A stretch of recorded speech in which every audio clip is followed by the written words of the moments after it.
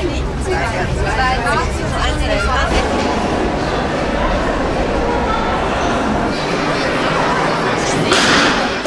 Kinder, liebe Eltern, liebe Großeltern, liebe Luftballons, herzlich willkommen.